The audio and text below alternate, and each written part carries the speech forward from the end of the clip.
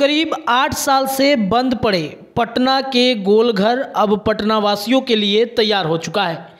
आपको बताएँ कि ऐतिहासिक धरोहर बिहार की पटना का गोलघर अब आम जनता के लिए खुल गया है। गोलघर का कंपाउंड खुला हुआ था। गोलघर में जो पार्क बने हुए हैं, वो आम जनता के लिए खुले हुए थे। लेकिन गोलघर की जो सीढ़ियाँ थी, वो पिछले आठ सालों से जर्जर हुई थी। लेकिन अब उन सीढ़ियों को बनाकर पूरी तरीके से हाईटेक कर दिया गया है।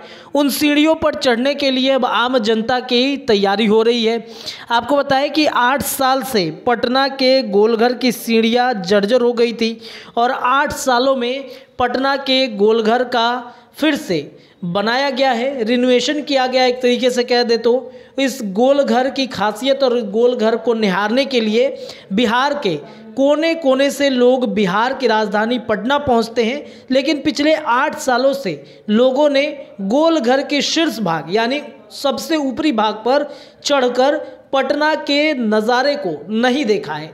लेकिन अब ये जो दूरियाँ थी पटना के नज़ारा देखने की, वो अब दूरियाँ कम हो गई हैं, क्योंकि गोलघर अब पूरी तरीके से उनकी सीढ़ियों को बना लिया गया है। और ये तस्वीरें हम आपको इस वक्त अपने स्क्रीन पर दिखा रहे हैं, जहाँ पे ये तस्वीरें आपको दिखा रहे हैं, जहाँ पे वंदना प्रेयसी जो हैं, उन्होंने इस तस्वीर को शेयर किया है। ट्विटर के माध्यम से और उन्होंने लिखा है कि गोलघर अब पूरी तरीके से आर्ट एंड कल्चर के तरफ़ से पूरी तरीके से इसे बना दिया गया है। इंटीरियर जो है रिनोवेशन इसका किया गया है और जो अंदर, यानी कि गोलघर के अंदर का जो नज़ारा होता है, यानी कि गोलघर का गर्भगृह जो है, उसे भी पूरी तरीके से रिनोवेशन कर दिया गया है और इसमें लोग अब आराम से घूम फिर सकते हैं और जल्द ही लोगों के बीच होगी पटना के गोलघर। घर और वहाँ से आप सीढ़ियों से चढ़ के पटना के नज़ारे को निहार सकते हैं। दो सौ सैंतीस साल हो चुका है पटना के गोलघर का, और ऐसा कोई दिन नहीं है जहाँ पे बिहार के तमाम ज़िलों से लोग पहुँचते हों, बिहार की राजधानी पटना पहुँचते हों और एक बार गोलघर का नज़ारा ना देखते हों। पिछले आठ सालों में गोलघर के शीर्ष भाग पे चढ़ के बिहार के लोगों ने पटना के नज़ारे को नहीं देखा है, लेकिन अब बदलते वक्त के साथ इसे बदल दिया गया है।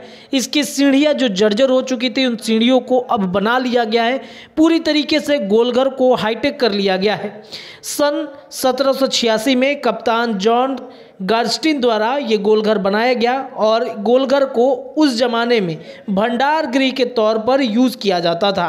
संयोग से गोलघर को कभी अपनी अधिकतम क्षमता तक नहीं भरा गया था, क्योंकि ऐसा माना जाता है कि एक इंजीनियरिंग के दोष के कारण। दरवाजे केवल अंदर से ही और खुलते हैं। अगर अन्न भंडार की तरह पूरी तरह भर दिया जाए तो दरवाजे नहीं खोलेंगे। गोलघर शहर के कई स्थानों में से एक है जहाँ नागरिक शहर के शोरगुल से दूर एकांत में यहाँ बैठते हैं और पिछले कई पिछले आठ सालों से गोलघर में लोग पार्क में जाते थे लेकिन गोलघर की सीढ़ियाँ नहीं चढ़ पाते थे। लेकिन अब आर्ट एंड कल्चर के द्वारा इसे पूरी तरीके से तैयार कर दिया गया है और आ, सीनियर आई वंदना प्रेयसी ने तस्वीरें जो हैं वो शेयर कर दी हैं और शेयर करते हुए लिखा है कि अब रिनोवेशन कर दिया गया है, गर्भगृह को रिनोवेशन कर दिया गया है, सीढ़ियों को बना दिया गया है। अब सीढ़ियों से लोग चढ़ेंगे और पटना के मनोरम दृश्य का नज़ारा लोग उठा सकेंगे। तो जल्द ही पटना का गोलघर आप सबके लिए तैयार हो जाएगा। जुड़े रहिए द बिहार टॉप के साथ। बहुत बहुत धन्यवाद।